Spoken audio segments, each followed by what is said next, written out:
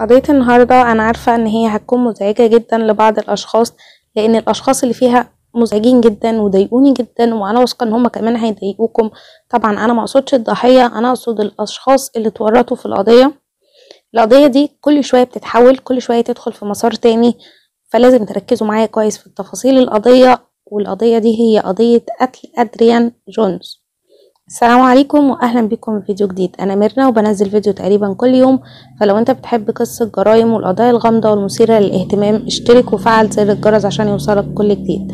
الفيديو ده أنا مبقصدش بيه أي إساءة أو إهانة لأي حد اسمه اتذكر في القضية. الفيديو ده لاغراض تعليمية وترفيهية فقط لا غير. وخلونا نبدأ. قضيتنا عن بنت اسمها أدريان جونز. اتولدت بالتحديد يوم 18 ستة سنة 1979 في مانسفيلد في تكساس.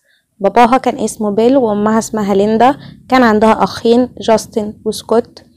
بيل باباها كان شخص متحفظ جدا كان بيخاف عليهم جدا خصوصا كان بيخاف عليها هي أكتر لأن هي كانت البنت الوحيدة.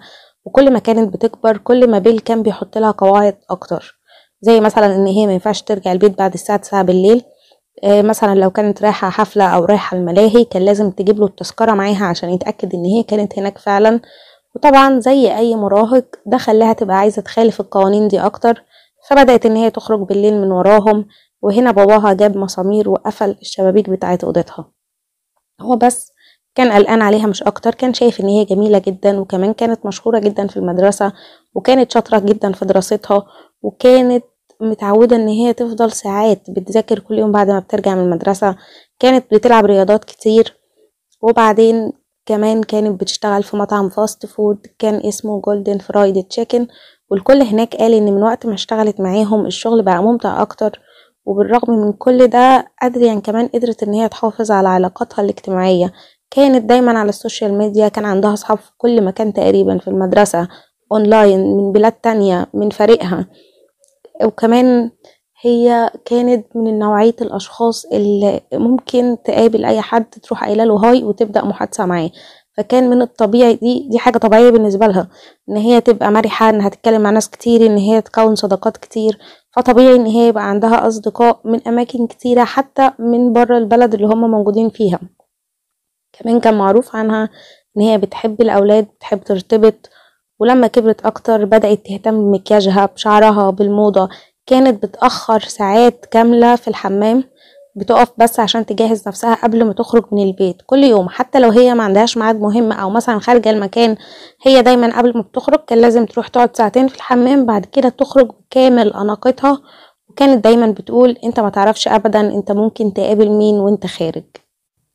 وفي سنة في خريف سنة 1995 فريقها كان رايح في لميتنج في منطقة تانية في مدينة لوبوك. والفريق كله ركب سوا في عربية وراحوا اللوبك والفريق أداؤه كان كويس جدا ورجعوا هما مبسوطين وما حصلش أي حاجة وحشة ورجعوا كلهم للمدرسة. ولما رجعوا في حد من أصدقاء أدريان وصلها للبيت اليوم ده. وركزوا معايا في الحتة دي لأن هي مهمة جدا في القضية. صديق ليها وصلها للبيت ووصلت البيت بأمان وكل حاجة كانت طبيعية بعد اليوم ده ولحد يوم 3 12 سنة 1995 كان يوم الحد بالليل واليوم ده الساعة عشرة ونص بالليل أدريان جات لها مكالمة من حبيبها. حبيبها كان اسمه تريسي سميث وكان في مدرسة تانية غير مدرستها. ووقتها كان هو بره البلد فقالها ساعتها سمحوا لها إن هي تكلمه في التليفون مع إن هم في العادة ما بيسمحوا لهاش تتكلم في التليفون في الوقت ده بالليل يعني. أمها كانت سامعاها وهي بتكلم تريسي وفي وقت أمها ليندا قالت إن هي سمعتها وهي بتحول المكالمة جات لها مكالمة تانية في وقت ما كانت بتكلم تريسي فحولت المكالمة واتكلمت لدقيقة تقريبا وبعد كده رجعت لتريسي تاني وبعد كده قالت له تصبح على خير وقفلت معاه. فأمها جت وسألتها قالت لها انتي مين اللي كلمك وانتي بتكلمي تريسي؟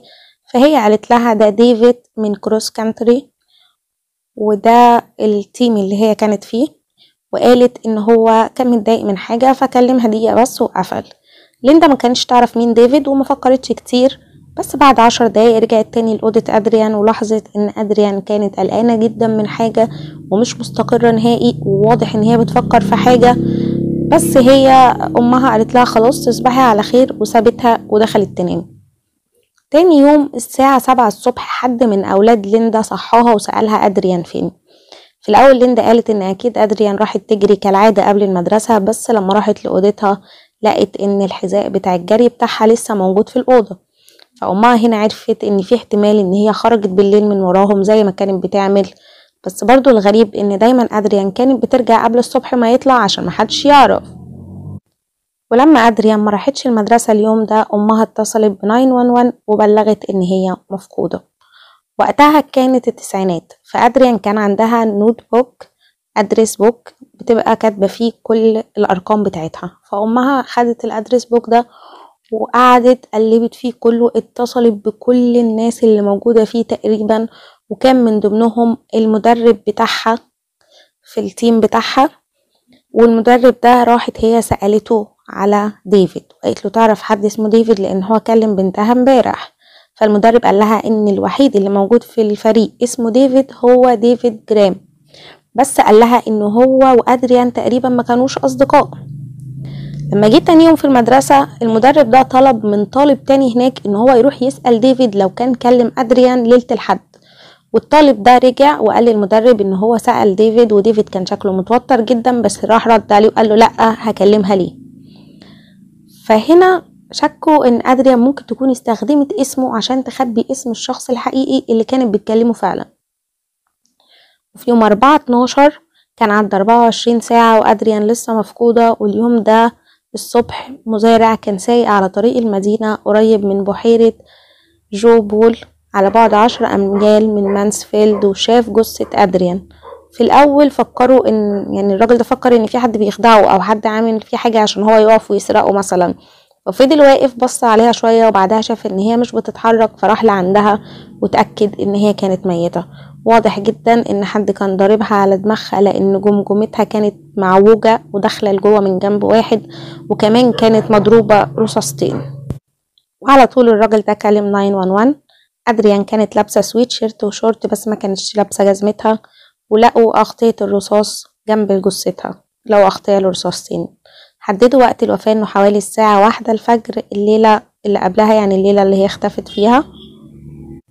طبعا الكل في المدينة كان هيتجنن كانوا عايزين يعرفوا ليه ليه أدريان. هل ده كان بسبب اعتداء جسدي؟ بس الطب الشرعي قال إن ما كانش فيه أي اعتداء جسدي على جثتها. والدها بيل راح وتعرف على جثتها ودي حاجة صعبة جدا. يعني أنا ما أقدرش أتخيل موقفه كان إيه. كل الناس كانوا زعلانين عليها ومش فاهمين ليه أصلا ممكن حد يقتلها. طبعا المحققين بدأوا يدوروا بيدوروا في بيتها ودوروا في أوضتها وما كانش فيه أي حاجة تدل على إن حد خطفها من أوضتها. واضح جدا إن هي خرجت بنفسها وبإرادتها. تقريبا هي كده كانت رايحة تقابل حد هي عارفاه. وكان صعب جدا على الشرطة يعرفوا مين لأن هي أصحابها كتير جدا زي ما قلت لكم. المحققين كان عندهم مئات من المشتبه فيهم وكانوا مضطرين إن هم يستجوبوهم كلهم.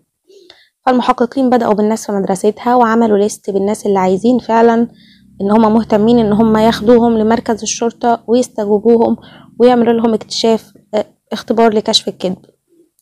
فكمان أخوها كان شاف شحنة واقفة قدام بيتهم الليلة دي فالبوليس حاول كمان يقلل الدايرة على أي طالب عنده شحنة زي الايه اللي أخوها شافها. الكل وقتها في المدينة كان مرعوب ومفكر إن ممكن يكون في قاتل متسلسل عايش وسطهم وان هو بيقتل الطلاب وان ممكن يقتل طلاب أكتر. وكمان زمايلها في الفصل كانوا منهارين جدا. وجابوا لهم وقتها مستشارين نفسيين يتكلموا معاهم. فمجموعة منهم المستشارين النفسيين دول قالوا إن عدد كبير منهم بيقولوا نفس الحاجة وهم بيقولوا إن هم سمعوا كلام في المدرسة بيقول إن القاتل واحد منهم وان هو لسه بيتجول في المدرسة وبيحاول يبان إن هو طبيعي وكانوا خايفين إن القاتل ده يكون ناوي يقتلهم كلهم. كمان زمايلها دول اتجمعوا مع بعض وجمعوا فلوس وعملوا شجرة في ملعب المدرسة على شرف أدريان. أهلها طبعا كانوا متدمرين جدا. أمها كانت بتحاول توصل للمعلومات بأي طريقة كانت عايزة تعرف مين اللي بنتها كلمته الليلة دي مين اللي كلمته الليلة اللي ماتت فيها لدرجة إن هي راحت لوسيط روحي عشان يعرف لها مين اللي كان بت يعني اللي كانت بنتها بتكلمه بس طبعا ما وصلتش لأي نتيجة. في الوقت اللي المحققين كانوا عمالين يستجوبوا الناس اللي في ال list الكبيرة اللي معاهم اللي عملوها ليندا أمها كانت طول الوقت حاسة إنه إنه ديفيد. ديفيد ده اسمه ديفيد جرام كان عنده 18 سنة وقتها. ما كانش حتى في ال list اللي الشرطة عاملاها لأن أدريان حتى ما كانتش كاتبة رقمه في ال address book بتاعها. وكمان أصحابها قالوا إن أدريان ما كانش ليها أي علاقة بيه فحسوا إن هم ما كانوش قريبين من بعض لدرجة إن هم يشكوا فيه أصلا. بس عشان هم في نفس الفريق وعشان مامتها كمان قالت لهم إن هي كلمته قبليها في الليلة اللي قبليها كتبوه في ال list بتاعتهم. خلونا نعرف أكتر عن ديفيد جرام. ديفيد جرام اتولد يوم 12 يوم 2 11 سنة 1977 كان أكبر من أدريان بس كان عندهم حاجات مشتركة كتير زي إن الاتنين كانوا رياضيين كانوا مشهورين وكانوا شاطرين في دراستهم. واحد من زمايله قال إن هو من أكتر الأشخاص الرائعين في العالم. ديفيد كان مخطط إن هو هيدخل أكاديمية القوات الجوية في كولورادو عشان يبقى طيار في المستقبل ودي المهنة اللي بيحلم بيها من وهو عنده سبع سنين. لما اتكلم مع المحققين قال إن هو وأدريان مش أكتر من أصدقاء وصداقة بسيطة جدا وإن هو ما كلمهاش من فترة طويلة بس هو اتضايق جدا لما سمع إن هي ماتت وعيط عليها قدامهم وبالرغم من إن هما كانوا بيعملوا اختبار كشف كذب المعظم اللي في ال list بس لسبب ما قرروا إن ديفيد مش محتاج إن هو يعمل الاختبار وكمان شالوه من ال list كلها.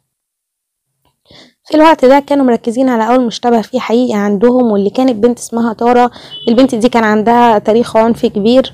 في مرة أطلقت النار على حبيبها وجرحته ومرة تانية هجمت واحدة من أصحاب أدريان بمضرب بيسبول عشان كانت شاكة إن هي على علاقة مع حبيبها وأدريان شهدت ضدها في المحكمة. فهم شكوا إن هي ممكن يكون ليها دخل بس طلع عندها حجة غياب قوية.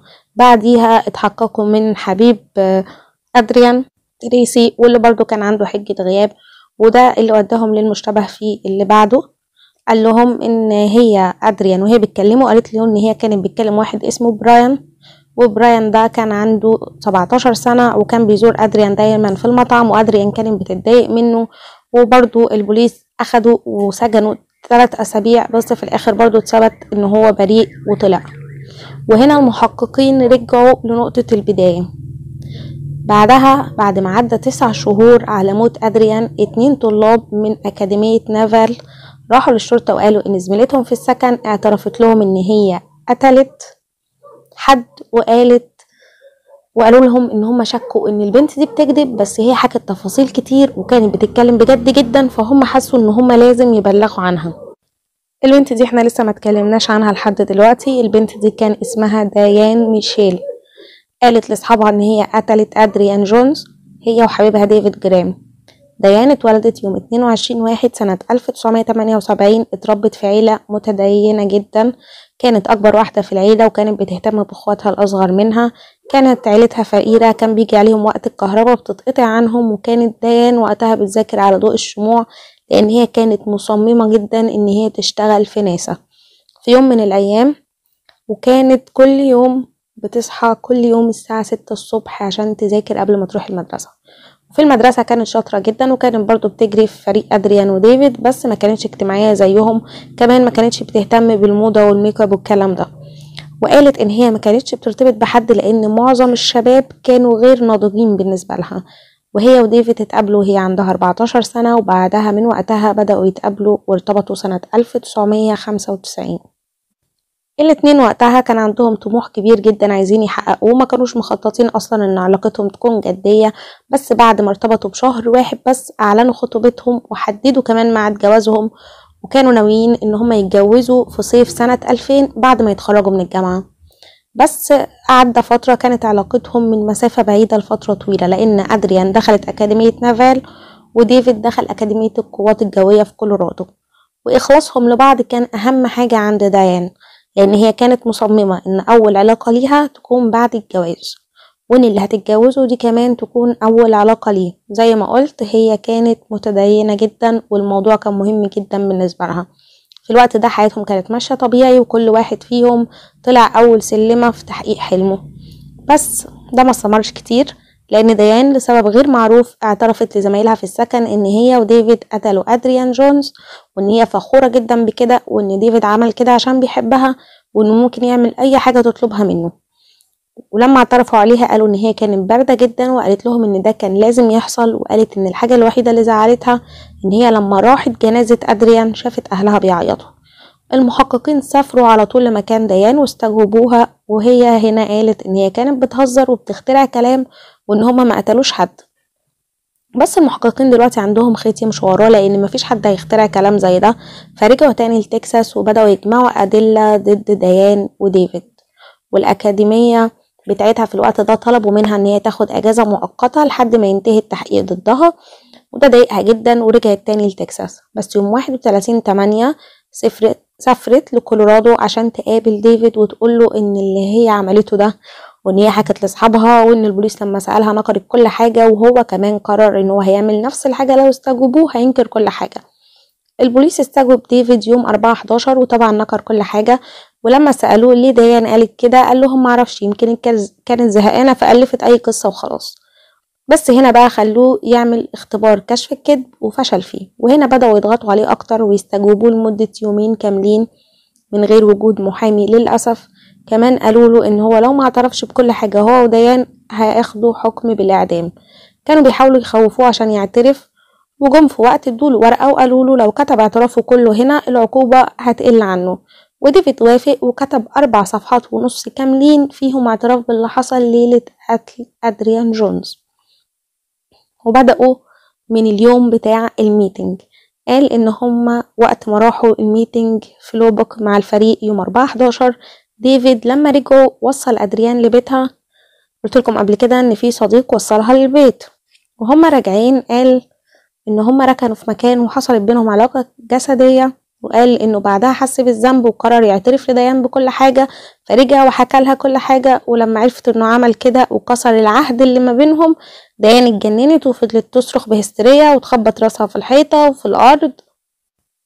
وبدأت هنا تقول لديفيد إن أدريان لازم تموت دي الحاجة الوحيدة اللي هتطهر علاقتهم وترجعها نقية تاني. أنا معرفش هي كانت بتفكر إزاي الصراحة لأن موت أدريان مش هيمحي اللي حصل ولا هيغير حاجة. خصوصا في عينين ربنا لأن دي الحاجة اللي هي كانت شايفة إنه لازم علاقتهم تبقى طاهرة قدام الرب. بس من الواضح إن هي كانت خايفة أكتر إن حد يعرف إن ديفيد خانها وخايفة من كلام الناس مش أكتر فقررت إنها لازم تموت أدريان. وديفيد وافق قال إن هو ما كانش بيقدر يرفض طلب ليها. مع الأسف يعني. قال إن هو لما قتل أدريان ما كانش عنده أي مشاعر كره ضدها خالص. هو بس كان عايز يرضي ديان. في يوم تلاتة اتناشر يوم الحد بالليل اتصل بأدريان وطلب منها تقابله قدام بيتها. والساعة دي كانت تقريبا كان مخطط إن هو هياخدها معاه. الساعة كانت واحدة وخدها بعيد عن البيت. وبعدين كان مخطط إن هو يكسر رقبتها ويرميها في البحيرة. وكانوا جايبين معاهم أوزان تقيلة عشان يربطوها بيها. عشان جثتها تغوص لتحت. كمان ديان كانت وقتها مستخبية في العربية من ورا. خدها وراح لمكان فاضي وديان خرجت من ورا وبدأت تهاجم أدريان. بس هو حاول إن هو يكسر رقبتها بس اكتشف إن هو يكسر رقبتها دي حاجة مش سهلة مش زي ما بيشوفها يعني في الأفلام. بعد ما ضربتها على دماغها نطت من شباك العربية وحاولت تهرب بس في سلك شائك مع الأسف أدريان وقعت فيه. وساعتها ديان قالت لديفيد ما ينفعش تقف دلوقتي لازم تنهي الموضوع. وهو كمان كان عايز يكمل لأنه ما كانش يقدر يسيبها لأنها تروح تعترف عليه وهيتقبض عليهم. فراح لحد عندها وحط المسدس على راسها وضرب طلقتين. أول ما رجعوا العربية الاتنين قالوا لبعض بحبك. بعدها ديان سكتت وقالت له إحنا مكانش المفروض نعمل كده. وهو كتب كل ده في ورق اعترافه ومضى عليه وسلمه. بعدها الساعة واحدة ونص الصبح راحوا قبضوا على ديان اللي كانت في بيت جدها وجدتها ما سألتش أي أسئلة ولا نقرت أي حاجة ولا اتفاجئت حتى إن بيتقبض عليها. راحت معاهم بهدوء وتاني يوم تم اتهامها بالقتل. المحققين وروها اعتراف ديفيد. بصت بصة بسيطة عليه بس ما قريتش كل حاجة. بعدها سألوها لو حابة تحكي هي اللي حصل وقالت أيوة. وبرضه زي ديفيد من غير ما يكون في محامي موجود. ملتهم الاعتراف وهم كتبوه على الآلة الكاتبة وبالرغم من إن هي ما قرتش كل اللي كتبه ديفيد بس هي كتبت نفس القصة تقريبا حتى أدق التفاصيل. وبكده اتأكدوا إن تقريبا ده اللي حصل. وخلص على كده المحققين بقوا واثقين إن هما الاتنين دول اللي قتلوا واعترفوا بالحاجة بالتفصيل. بعدها بثلاث أيام قبضوا على ديفيد كمان وتم اتهامه بالقتل وكمان زودوا تهمة الاختطاف على الاتنين وكده ممكن ياخدوا حكم بالإعدام. بس أهل أدريان قالوا إن هما مش عايزينهم يموتوا هما عايزينهم يقضوا باقي حياتهم في السجن عشان يدفعوا تمن اللي عملوه بنتهم. أصدقاء ديان وديفيد في المدرسة كانوا مصدومين لأن هما كانوا بالنسبة لهم ثنائي مثالي وكانوا مخلصين جدا لبعض. المحققين بعديها لقوا المسدس في بيت أهل ديفيد. وده المكان اللي هو كان قال لهم عليه. واضح إن هو كان متعاون جدا معاهم وما كانش بيحاول يدافع عن نفسه لحد ما قال إن هو اتضحك عليه من المحققين وخلوه يدي اعتراف غلط. قال إن هو كان صاحي لأكتر من 30 ساعة متواصلة وكان تعبان وما كانش فاهم إن اعترافه هيأثر في العالم الحقيقي. يعني تقريبا تقريبا كده يعني كان فاكر نفسه في فيلم كرتون. وإن المحققين هددوه إنه لو ما كتبش اعترافه هيتحكم عليه بالإعدام. الصحافة طبعا نشرت الموضوع في كل مكان وكانوا مسمينها جريمة قتل طالبة في تكساس. واعتراف ديفيد اتسرب للصحافة واستخدموه وعملوا منه فيلم سموه Love's Deadly Triangle واللي اتعرض شهر اتنين سنة ألف تسعمية سبعة وتسعين قبل حتى محاكمتهم ما تبدأ. كانت نسخة مقاربة جدا للحقيقة وكمان اتعمل DVD للفيلم. في الوقت نفسه ديفيد وديان كانوا في السجن مستنيين محاكمتهم والاتنين طبعا قالوا إن هما مش مذنبين وفي الوقت ده ما كانوش بيشوفوا بعض بس كانوا بيبعتوا رسائل حب كتير جدا لبعض طول الوقت. بعدها المحكمة قالت إن الاتنين هيتعاملوا كأشخاص بالغين مع إن وقت الجريمة ديان كان عندها 17 سنة بس. وهنا بقى يبدأ يعني القرف والحاجة اللي تعصب جدا. الاتنين غيروا قصتهم مليون مرة. صعب جدا إنك تفهم حاجة منهم. لأن هما فضلوا رايح جاي رايح جاي. بين إن هما مذنبين وإن هما ما عملوش حاجة. بان إن ده اللي قتل وده اتفرج عليه وبين إن لأ دي اللي قتلت وده كان بيتفرج يعني. فضلوا رايحين جايين كده. محاكمة ديان كانت بدأت الأول. كانت شهر واحد سنة 1998 والقاضي سمح إن المحكمة دي تتصور وتتعرض على التلفزيون.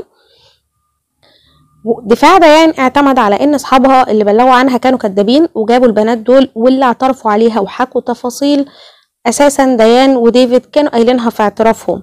كمان في صديق ليهم جه واعترف ان الاتنين راحوا عنده البيت بعد الجريمة وقال ان ديفيد كان هادي وديان كانت بتعيط وهو كان بيهديها وبعديها ناموا. واحدة تانية من اللي بلغوا عنها قالت إن ديان قالت لها إن أدريان كانت شخصية بشعة جدا وكان لازم تموت وإن اللي ضايقها بس إن أهل أدريان عيطوا عليها. كمان كان في أدلة مادية السلاح وكمان لقوا دم أدريان في عربية ديان. كمان لقوا حاجة غريبة جدا. ديان في ال note في ال notebook بتاعها كانت معلمة على يوم 3 12 وعاملة دايرة كده وكاتبة أدريان. يعني معلمة على اليوم وكاتبة اسم أدريان زي ما تكون معلمة على وقت رحلة أو وقت رايحة تخرج فيه مع أصحابها. يعني حاجة غريبة جدا يعني. دفاعها قال برضو إن هما جبروها على الاعتراف وإنها عملت كده عشان تحمي ديفيد واللي كان بيسيء معاملتها وبيتحكم فيها طول الوقت. كمان قالوا إن ديفيد هو اللي ضرب برضو أدريان على راسها مش ديان. ديان ما شاركتش خالص. هي بس اتفرجت وعشان كده هو اللي يشيل الجريمة وهي تاخد حكم بسيط جدا إن هي بس إيه خبت عليه. بعدها طلعوها تشهد وقالت إن ديفيد هو اللي عمل كده وكل ذنبها إن هي غطت على الجريمة. وكمان قالت إن هي أصلا عمرها ما طلبت منه انه يقتل أدريان وإن هي حاولت بس تغطي عليه مش أكتر وتحميه.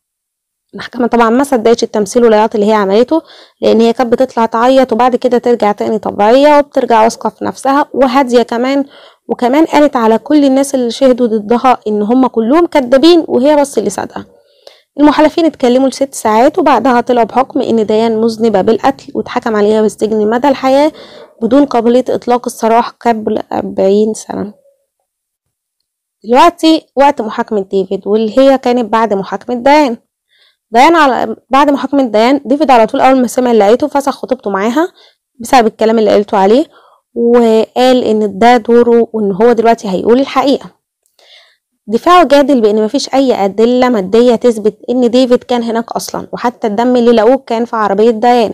الحاجة الوحيدة اللي بتقول إن هو ليه دخل كان اعترافه واللي هو أصلا بينكره. وقالوا إن ديفيد كان بيغطي على ديان وبيحاول يحميها وإن هي الثغرة الوحيدة اللي كانت موجودة في دفاعه إن هو ما كانش عنده حجة غياب وقت الجريمة. بس هو قال إن هو قابل ديان بعد ما قتلت أدريان وإن هي اعترفت له وقالت له يخبي الأسلحة وخباها في بيت أهله يعني عشان يساعدها. وفي يوم 15 سبعة بنت اسمها ويندي جت شهدت في المحكمة وغيرت كل حاجة. قالت إن يوم الاجتماع بتاع ال team هي اللي وصلت أدريان للبيت. يعني كده هو ما وصلهاش البيت أصلا وبالتالي ما فيش أي علاقة حصلت بينهم. وهو كان بيكذب الله أعلم ليه والسبب اللي أصلا قتلوها عشانه طلع كله كذبة. كمان أصدقاء أدريان شهدوا إن هي مستحيل تعمل علاقة مع شخص مرتبط. وكمان في الوقت ده هي كان عندها boyfriend آه، ديفيد الموضوع المحكمة ما سألتش في الموضوع ده كتير لأن كده هما كانوا هيبقوا بيلغوا الدافع اللي عند ديفيد فما تكلموش في النقطة دي كتير. بس ديفيد نفسه ما شهدش في المحاكمة بتاعته. كان في في شاهد واحد بس اللي جه هي ديان والاتنين بصوا لبعض بصات باردة جدا ما كانش فيها أي مشاعر. وبعد ما خلصت محاكمته المحلفين اتكلموا لتمن ساعات وبعدها قالوا إن هو مذنب واتحكم عليه بأربعين سنة في السجن. بعدها طلع في interview ونكر كل كلامه وقال إن ما حصلش حاجة بينه وبين أدريان وإن هما كانوا مجرد أصدقاء عاديين. ولحد دلوقتي كل شوية الاتنين بيغيروا كلامهم. وديفيد قال إن هو فرحان إن هو اتسجن لأن هو خلص من ديان واتجوز كمان في السجن وأخد شهادة في علم الإجرام. وقال كمان إن هي لما سافرت له لكولورادو وقتها قعدوا سوا وحفظته الكلام اللي يقوله وعملوا القصة مع بعض واتفقوا على كل الكلام اللي هيتقال عشان كلامهم يبقى واحد وإن هو غلطه الوحيد إن هو سمع كلامها وغطى عليها. غير كلامه بعديها تاني في مقابلة تانية وقال إن هو فعلا قتلها وإن هو وديان مع بعض عشان بس يثبت إخلاصه لديان. يعني أنا مش عارفة الصراحة. المهم عيلة ديان كانت مدمرة جدا خصوصا أخوها الصغير خصوصا انه واضح إن هي ماتت من غير أي سبب لأن واضح إن هي وديفيد أصلا ما حصلش بينهم أي حاجة وإن هو بس كان بيعمل قصة بيحاول يخلي ديان تقريبا تغير عليه وكذب كدبة معرفش يخرج منها بعد كده. وهنا تكون خلصت قضيتنا النهاردة. أتمنى تكون عجبتكم وأتمنى تقولوا لي رأيكم في الكومنتات. أنتوا شايفين أنهي قصة هي الأصح وما تنسوش لو عجبتكم الحلقة دوسوا لايك واشتركوا وفعلوا زر الجرس عشان يوصلكم كل جديد. وأشوفكم في قضية جديدة. سلام.